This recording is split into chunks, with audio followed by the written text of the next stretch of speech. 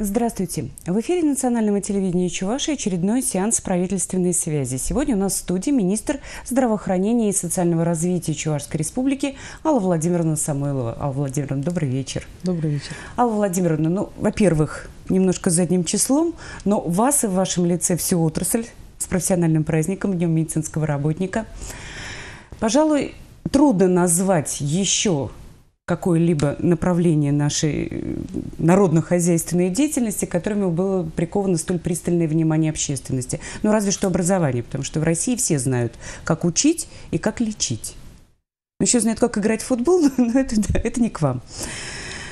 Ежегодно ваше ведомство готовит очень масштабный труд, государственный доклад о состоянии здоровья, ну, в данном случае жителей Чувашской республики. Работа над ним уже началась, я полагаю. И что можно сказать, вот какие-то, может быть, предварительные итоги, как мы выглядим на общероссийском фоне, на окружном фоне? Что-то изменилось по сравнению с прошлым годом? Э, да, на самом деле труд масштабный. А на самом деле государственный доклад э, практически уже готов, то есть основные цифры уже все сведены, то есть подведены уже все статистические э, формулы, сданы все необходимые документы, и фактически в ближайшее время этот доклад будет представлен в правительство Чувашской Республики. И если говорить о тех показателях, которые мы, которые мы достигли вот в этом году по сравнению с прошлым годом, то нужно говорить о том, что практически основные показатели по смертности, по заболеваемости у нас в Чувашской Республике в сравнении с Российской Федерацией находятся на лучших э, показателях, за исключением одного показателя – это смертность от внешних причин, в основном за счет дорожно-транспортного травматизма. И, по сути дела, если оценивать в динамике, то общие показатели смертности, они в этом году, то есть вот буквально за пять месяцев этого года также находится в динамике, в тренде к снижению, за исключением вот этого показателя. Он находится на общих цифрах выше среднероссийских, но если сравнивать с прошлым годом, э, показатель смертности от ДТП чуть уменьшился. То есть это, в общем-то, нас радует, это говорит о том, что работа, в общем-то, ведется, причем не только э, с медицинских позиций, а с э, общей, скажем так, межотраслевого плана, потому что здесь не только здравоохранение, то есть это и МВД, это и пешеходы, пешеходы сами, это и э, водители, это и соблюдение скоростного режима, то есть здесь все вместе. А вот э, что-то изменилось в структуре заболеваемости? Мы же привыкли называть там вот несколько таких ведущих болезней. Основной класс заболеваний, он остается э, точно таким же. То есть смертность э, в трудоспособном возрасте – это в основном внешние причины. На первом месте угу. это внешние причины. А смертность лиц старше трудоспособного возраста – это смертность на первом месте стоит класс сердечно-сосудистые заболевания, инсульты, инфаркты. Дальше идут новообразования. То есть в структуре ничего не поменялось.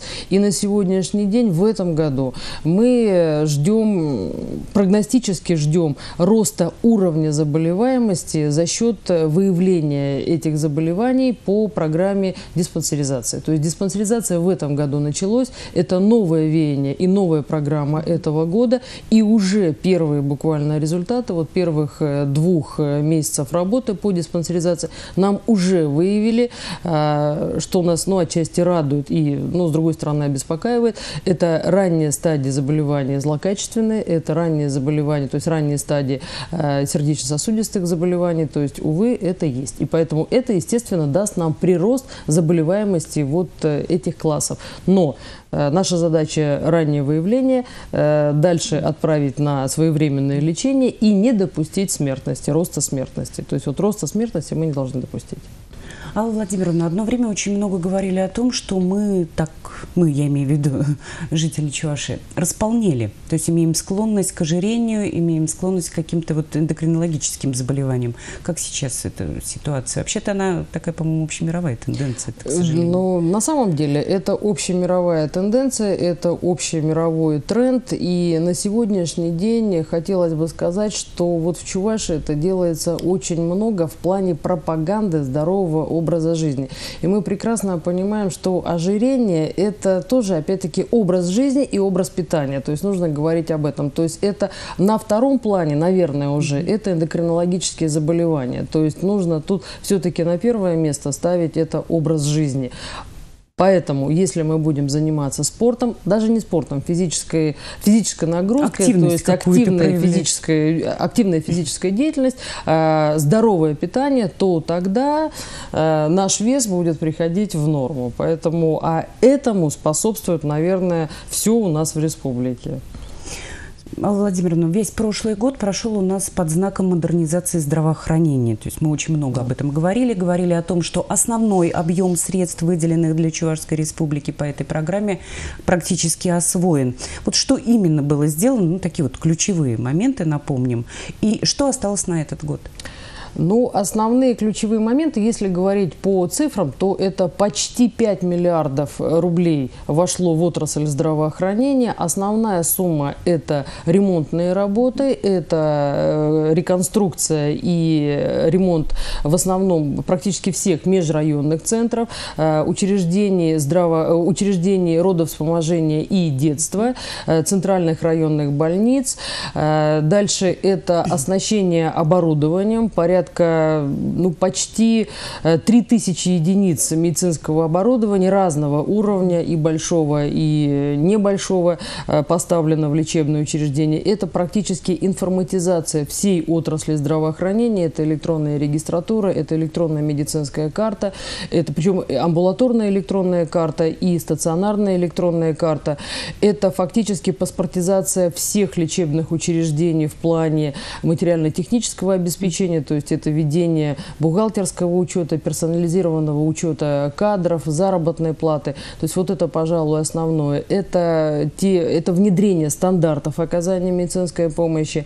То есть для этого, естественно, были выделены финансовые средства на закупку оборудования, на закупку э, лекарственных препаратов.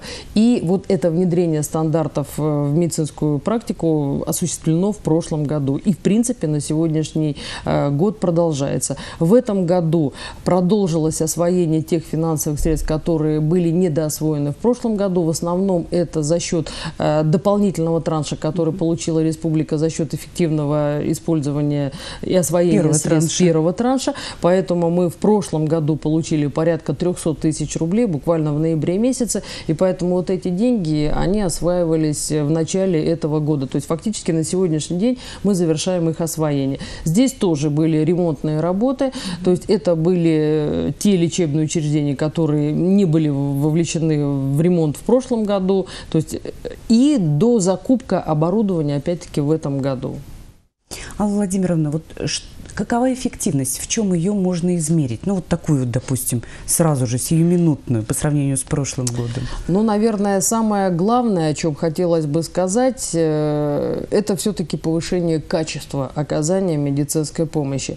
Наша задача, чтобы еще и пациенты были удовлетворены качеством оказания медицинской помощи. Но если оценивать э, с позиции медиков, с позиции врачей, то, конечно, уровень здравоохранения здравоохранения в республике э, поднялся на целую ступень или даже на несколько ступеней. Почему? Потому что, конечно же, произведено помимо ремонтных работ и помимо того, что медики стали работать в новых операционных, стали работать в новых фактически условиях э, вот после модернизации, у них появилось новое современное оборудование. Поэтому, конечно же, врачи, медицинские сестры, то есть те э, сотрудники, которые непосредственно оказывают медицинскую помощь, они это почувствовали э, у себя на рабочем рабочих местах. А, конечно, от этого уже идет и повышение качества оказания медицинской помощи. Ну и, наверное, главный результат – это все-таки э, увеличение продолжительности жизни. И фактически мы вот э, за последние только два года мы дали рост средней продолжительности жизни на два года. То есть фактически каждый год на один год идет прирост.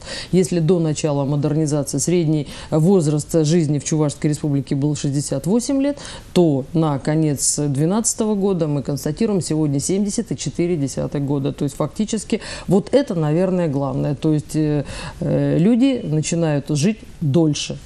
То есть вот это если говорить э, так, о таком глобальном итоге.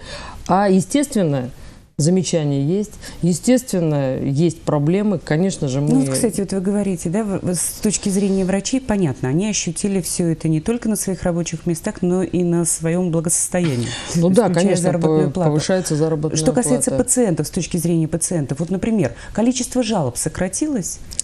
Значит, жалобы, э, обращения. жалобы, я бы сказала, э, жалобы тоже можно разделить на две составляющих. То есть есть жалобы обоснованные на, на самом деле на качество оказания медицинской помощи, на недостаточное э, диагностическое обследование, на недостаток лекарственного обеспечения. То есть вот на сегодняшний день этих жалоб практически мы не видим.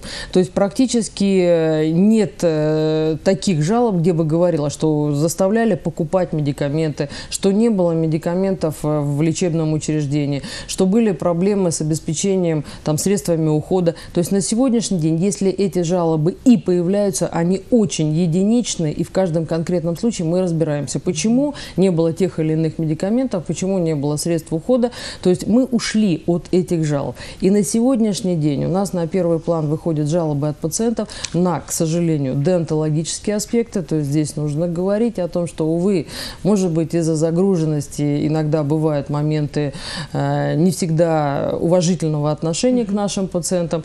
И второе – это то, что, к сожалению, мы наблюдаем дефицит врачебных кадров, сестринских кадров, и поэтому в этой связи загруженность медицинского персонала иногда создает риски не, скажем так, э, долгого ожидания пациентам приема, при, да. приема и помощи от врача. То есть вот это тоже, в общем-то, есть. Хотя э, различными способами, электронной регистратуры и записи, конечно, мы пытаемся от этих очередей уйти, но это нагрузка на тех врачей, которые остаются вот в лечебном учреждении. Конечно, вот эта повышенная нагрузка иногда создает вот эту нервозную обстановку между врачом и пациентом.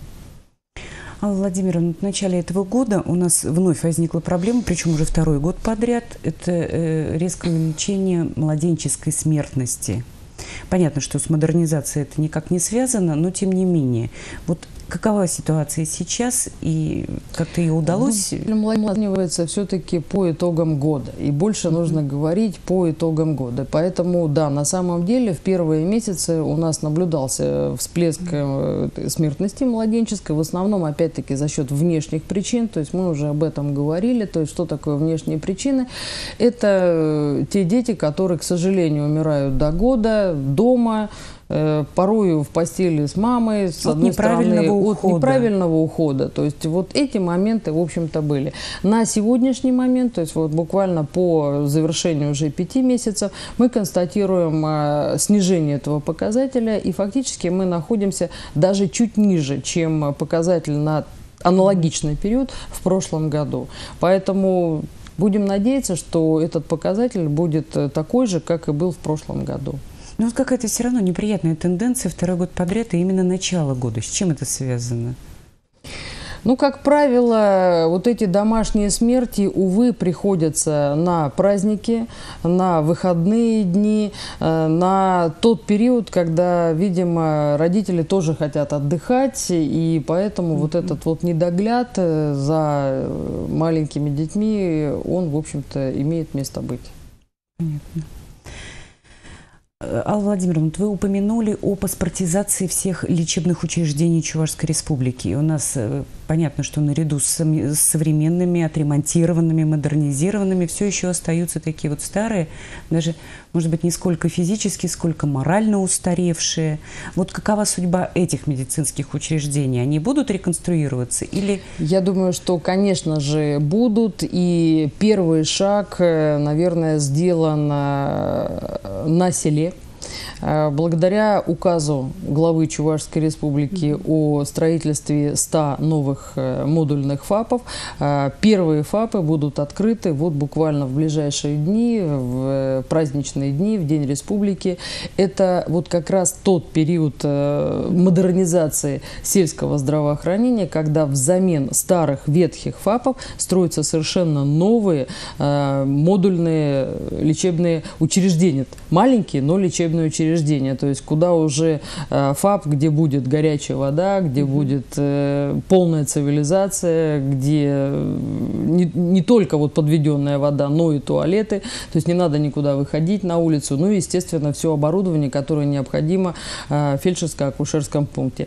Думаю, что следующим этапом будет, естественно, ремонтные работы в тех районных больницах, которые не попали в модернизацию, и, конечно, мы не забываем о лечебных учреждениях, которые находятся в городах э, нашей республики. Поэтому это, конечно же, будет. Но вот первый шаг – это наши модульные ФАПы. То есть а вот какого-то укрупнения не произойдет? То есть, что, допустим, в одном районе закроется, но Нет, в другом будет... такого не произойдет. То есть все лечебные учреждения, как были в районных э, центрах, они так и будут. Вопрос на сегодняшний день, если и происходит, происходит перемаршрутизация пациентов. И а, в тех э, лечебных учреждениях, где должна оказываться помощь первого уровня, или, скажем так, простая медицинская помощь, она там обязательно останется. А вот эта перемаршрутизация пациентов, она, безусловно, будет происходить. И благодаря этому э, мы, наоборот, концентрируем кадры, мы концентрируем оборудование, мы концентрируем технологии.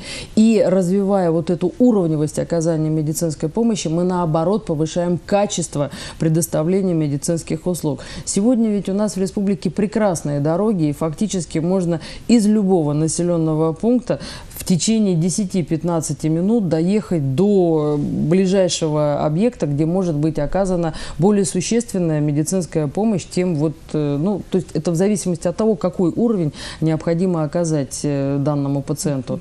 И ведь э, практика показала, что вот создание таких э, центров, как центры травматологии по трассе, как сосудистые центры, опять-таки э, по межрайонам, кустовые, как перинатальные центры, как межрайонные родильные дома. Ведь жизнь показала, что это жизненный, живущий проект и реально имеющий хорошие результаты. То есть создав вот эти межрайонные перинатальные, межрайонные родильные дома, угу. мы уменьшили младенчество младенческую смертность, мы практически ушли от материнской смертности. Когда мы создали сосудистые центры, у нас почти на 30% сократилась смертность от инсультов, от инфарктов. Поэтому вот это кустовой принцип и межрайонные центры – это хорошее движение вперед. А новые медицинские учреждения у нас будут строиться, ну, не считая ФАПов? Ну, да. То есть на сегодняшний день уже находятся в проектных разработках. То есть э, в первую очередь, если говорить о городе Чебоксары, это большой проект, который предполагается реализовать в центре города на проспекте Ленина. То есть это поликлиника, вот бывшая поликлиника, как ее все знают, э, поликлиника электроаппаратного завода и э, родильный дом номер два.